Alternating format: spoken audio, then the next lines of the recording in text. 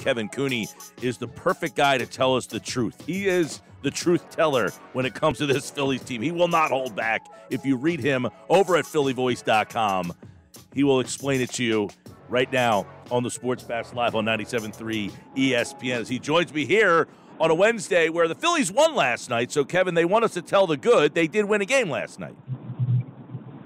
They they won a game. Vince Velasquez looked halfway decent.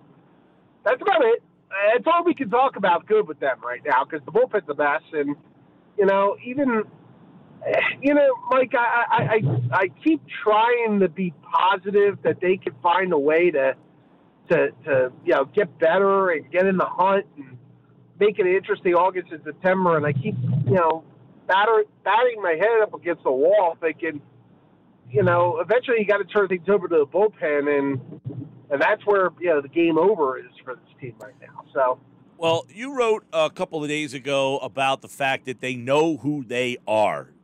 What are they? Are they a team that is just kind of trying to hang on to the middle ground here? Are they a team that is trying to fly by the seat of their pants? Are they a team that knows they're not very good but can't do anything about it because of Harper's contract? How would they describe themselves? I think they would describe themselves as that they have pieces, but in the end, they know that their pieces are probably not good enough because their minor league system can't supply those pieces. I don't think it's just the Bryce Harper contract. I think it's simplistic to say, well, you overextended yourself on Bryce Harper, and you know that's while the years I would agree they went too far out, but you know I don't think the annual value is is prohibitive for a, a player of Bryce Harper's talent. Um, you know, my my argument would be if you're going to make that big move, then you better have other pieces in the minor league system, and they just don't have it. I mean, you know, look at look at them defensively. I mean, you know, they have a they have a third baseman, or they have a first baseman playing third. They have a designated hitter playing first. Um, you know, you have a, a old center fielder playing left who who has no range anymore. Odubel's a mess. You know, Luke Williams and, and uh, uh, you know, all the guys that they've now brought up are, are, are the definition of journeymen. Um, you know, they are not a, a good farm system. They're not a good organization at this point. And the problem is they're boxed in. There's no hope coming from the minors. There's no hope really coming in a way of a trade because you don't have the pieces to make a major move. Um, unless you're willing to maybe trade an Aaron Nola, and I don't see that happening. I mean, they're they're just they're you know who they are, Mike? They're the Anaheim Angels. They really are in a lot of ways. Some marquee names, but you know they ain't going to win hmm. anything. Um, let me ask you then about Dombrowski. You know, because he has one World Series. It's not like the guy's an idiot. I mean, he has a pretty good resume. But is this the right fix? Is this the right type of team for him to try to fix? You know, that's an interesting question. And, and, you know, I think if you put him and Joe Girardi on a little bit of truth serum, if they look at the situation now compared to when they were making the decision to come here, I would be fascinated to find out how much has changed in their minds when you kind of get below the surface and you see, wow, you know, you look at you know this lineup and you have Realmuto and Harper and Hoskins can do some things, and uh, now that you're kind of fully into it, do you see that it's a, a, a more complex situation, which it obviously is, than you possibly thought? And would it have changed your mind if they knew this in advance? I don't know. I mean, obviously the money is good for both of them. Um, and the challenge, you know, some guys thrive off the challenge, and I think Dave Dombrowski is not going to back down from it.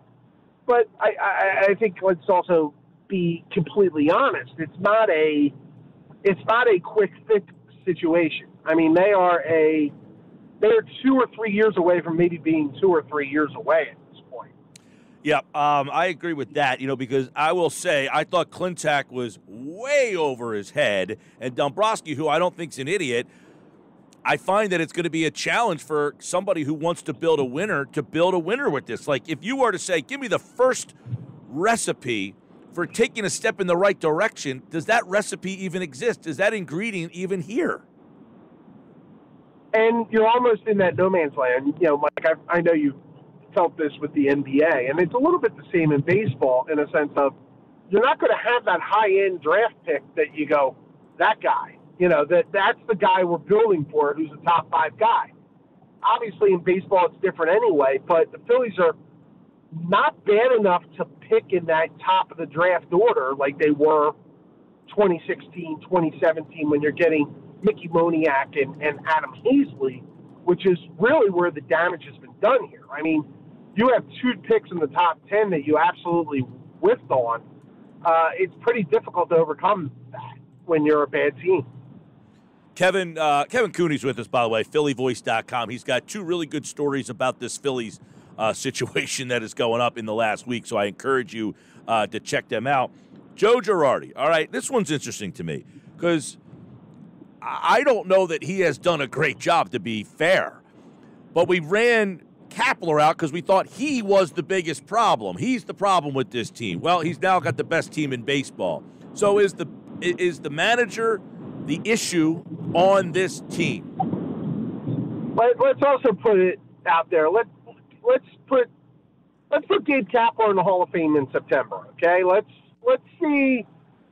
Second half Gabe has always been substantially worse than first half Gabe. True. So let's before we before we're throwing you know parades down Market Street in San Francisco. Let's hold off on on the Gabe issue. But we want to get on Girardi here. It's a roster issue. Um, you know, I don't know what manager could have done anything with that bullpen. Um, you know, I don't know what manager looks at that uh, could make a major difference with that center field situation that they had. You know, and having to go back to Odubel Herrera after kind of going around and around, uh, wanting to avoid Odubel Herrera um, for obvious reasons. I mean, I, I, the roster situation is the more alarming thing. Yeah. That being said, Mike, Joe Girardi has been a disappointment because – you know, I believe that teams that look that play tight often are a reflection of their manager, and this team often looks like it plays extremely tight and and, and nervous and antsy and everything. It's not it's not that they're too laid back. I think it's almost the opposite. I think you know you see an Alec Bohm make an error at third base, and it's just a it, it, it's a it's a hyperactivity and then you see what Girardi's done and the way Girardi's handled some of the off the field stuff. You know, the, the not wanting to talk about injuries and lineup decisions the way he did, and and snapping at the media for that, and and the whole Scherzer thing last week and uh, two weeks ago. Uh, you know, all of that, in my mind, is an indication of a manager that is just jumpy at this point. Yeah. And for a veteran who's coached in, who's managed in New York City, in the biggest pressure pot, uh, pot there is, the pressure cooker there is, I, am really surprised by that at this point. I, could Joe already be fine? Yeah. Is he going to get fired? No. It, it's a matter of Joe. Take a take a deep breath you know, and, and, maybe look like you're having a little bit of fun for your money. Yeah, I, you know, it's funny because as you mentioned, and I agree. Like, I don't think Kapler's this great manager that they missed out on. Like, you know, the Terry Francona situation where the team wasn't good, you let him go, he went to a good team and became a good manager. Uh, the question, I guess, is, and Girardi, here's a guy as you just mentioned, he won a World Series. I guess is it the fact that the game is changing so much and it's like managers aren't managing as much anymore. The the the analytics have taken over. And where do the Phillies kind of sit in on that side of things? Are they an analytics team? Are they not? Are they stuck in the middle? Is that causing some of the problems, or does it go back to they just don't have a very good roster? Well, let's also be honest. Joe did have a, a, a little bit of a. Know, it was called Binder Joe for a reason in New York, and you know, part of what we see with the over reliance on the bullpen, eh, you know, if you want to go back to, to what happened with Eflin on, on, on Saturday, and he's going into the bullpen, you're wondering, well, you know, Eflin looks great. He's out doing the grunt. What are you doing? Well, that's Joe. That was Joe in New York. But Joe's problem was he had Betances and he had Rivera and he had Dave Robertson and all those guys he could turn to. Here he's turned into Neftali Feliz, you know, who is, you know, to be blunt, not in and not in the majors for four years for a reason, and not just because of injury. I mean, this is this is one of those things in my mind, Mike, that he is he's trying to use the system that play the hits that he had in New York, but it's a completely different band. Um, in your opinion, the way they've handled this Spencer Howard situation, what does that say about the plan they have as an organization? I don't think they know what to do with Spencer Howard. I know now they're going to try try to stretch him out again and try to make him a traditional starter. And you know they were so worried about the innings limit coming into the year and all this. I, I, I, I deep down, I wonder if they have any idea how to handle Spencer Howard. And part of that, honestly, has to fall on Spencer Howard. He does not look like he's in condition, and, and that's not okay. You get to the fourth inning and your velocity drip, uh, drops and everything. It's like you're going to tell me you're tired from running bases as a National League pitcher? I mean, really? like, what, you know, I, I just, there's some guys who are able to command their own situations. And Spencer Howard doesn't look like that guy. And we're at 20, you know, we're at 25 years old. Yeah. I mean, it, it's not like he's a kid anymore. Like, you know, you, you were the number one prospect in this organization. You had time to put the big boy pants on time to show that you were worthy of that title. And if you're not, then get out of the way. And, and, and but the problem is, he's not blocking anybody at this point. Like who is who's the guy he's blocking yeah. in this organization? Adonis Medina is not exactly lighting the world on fire either. Um, isn't there maybe then another role for him? Like, have they not figured that out? Like, this guy obviously can help us. Maybe it's not the role we want. Our bullpen's a disaster. Should we find out if that's maybe what his role is?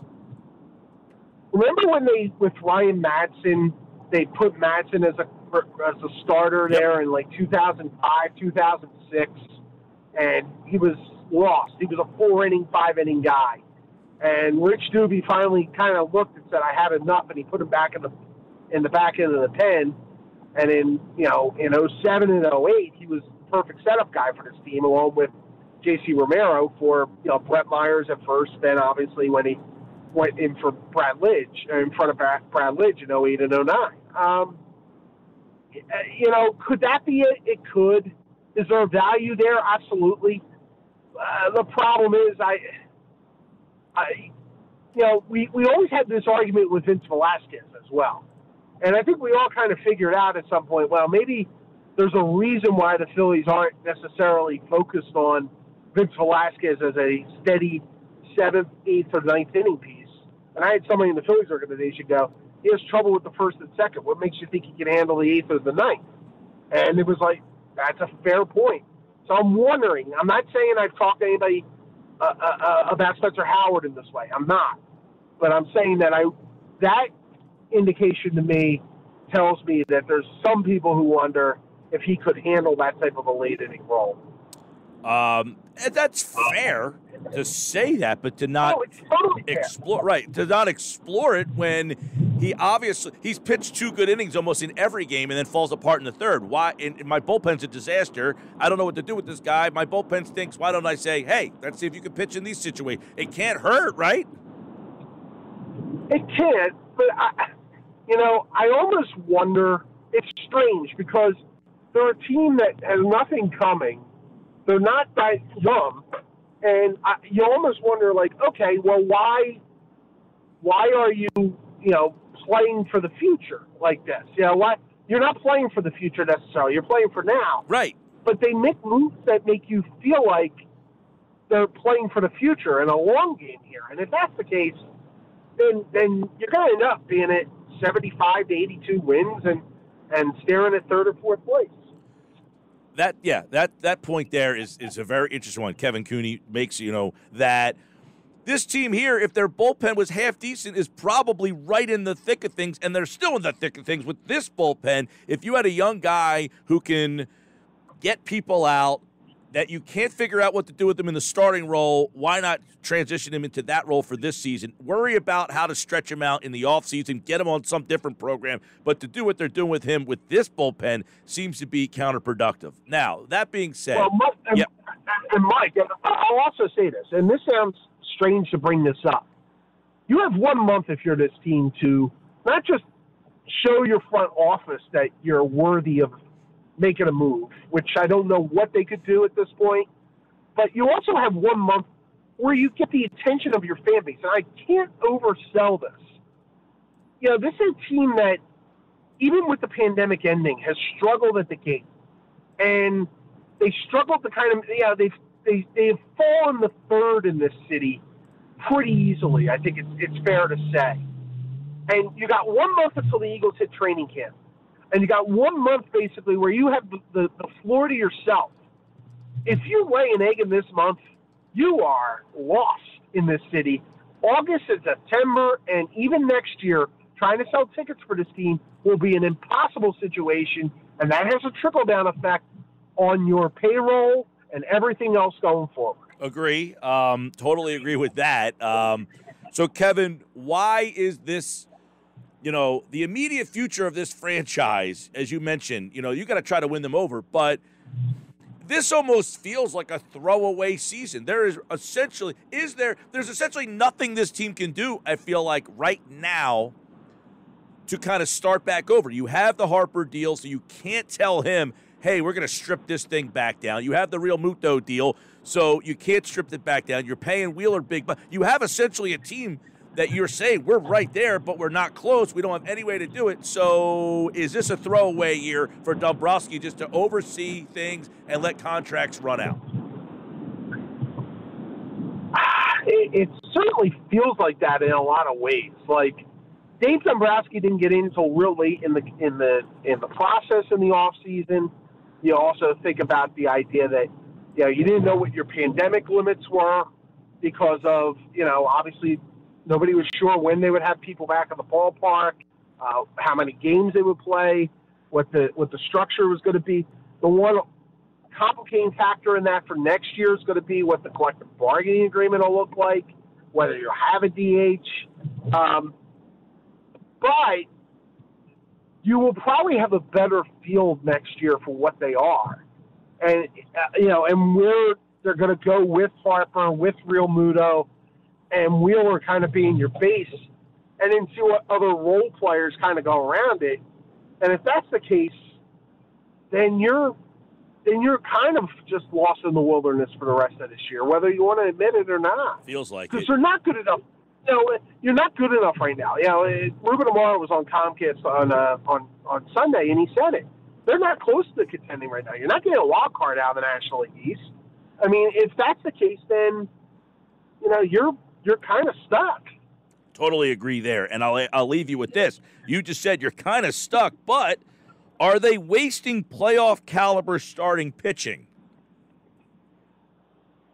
Um, well, this week, sure. you know, but you know, a month ago, Aaron Nola was Aaron Nola was viewed as a number three, number four starter in a lot of eyes. I mean, so I, at the moment, yes, they are a playoff caliber rotation. Um, could that change in a hurry, though? Yeah, it could. And so, you know, that obviously proves that there's still some there's still some flaws that go beyond that too. Uh, at Kevin Cooney, uh, PhillyVoice.com. Check out that piece, and uh, you can follow him on Twitter for all of his stuff. And uh, he's a great follow. And uh, check out the uh, podcast, Working the Beat, him and Mike Kern. It's always an entertaining listen there as well. Um, boy, this Philly season has uh, gotten really interesting. And as you mentioned, they have about a month to grab our attention because there's a team uh, that doesn't have a lot of expectations getting ready to start in about a month. And of course, they are the Eagles. Kevin, appreciate it and enjoyed it as always, man. Not a problem, Mike. And remember, the Eagles rule everything in this town, so it doesn't matter whether there's low expectations or not. So that is right. That is right. And and he's right, Kevin. I appreciate it. Time as always, Kevin Cooney. The Eagles do rule the roost. If they're a two-win team, a four-win team, an eight-win team, a twelve-win team, or a Super Bowl team, the Eagles will always be at the top because their passion for football is just so huge.